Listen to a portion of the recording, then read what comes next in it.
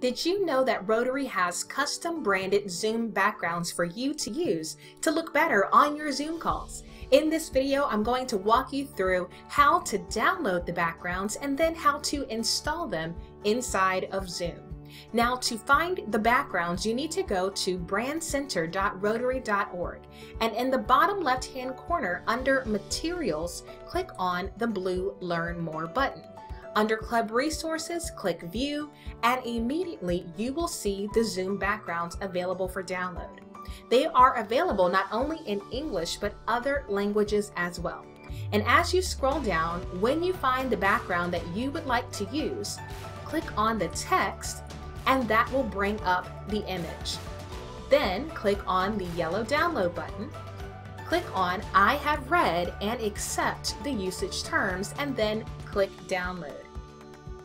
So once you've opened up Zoom and you've logged in, in the top right hand corner you're going to see a gear that says settings when you hover over it. Then you want to click on virtual background and you'll see yourself on the video. Now you can choose a virtual background that is already installed within Zoom or you can click on the plus sign to add an image or video. Click on the plus sign click on Add Image, and then you can locate that Zoom background on your desktop. Once you find the one you want, click on Open, and it will install it. Now, here's the deal. For my webcam, I need to have a green screen in order for this to look good because I have an old webcam. So if you find that this does not work for you, unfortunately, you will not be able to use the virtual background. However, if you unclick it, it will tell you if your computer does not meet the requirements.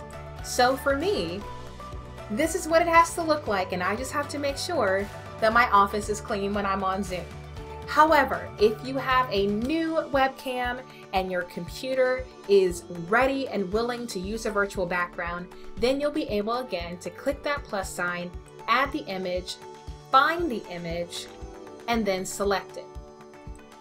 The other thing that you can do if you find that when you add a virtual background, this is the effect you get, you can set up a green screen behind you, and then your webcam will have an easier time replacing the background with the digital background available. So just wanted to show you what is available inside of Brand Center, help you troubleshoot using a virtual background, and we hope to see you zooming very soon.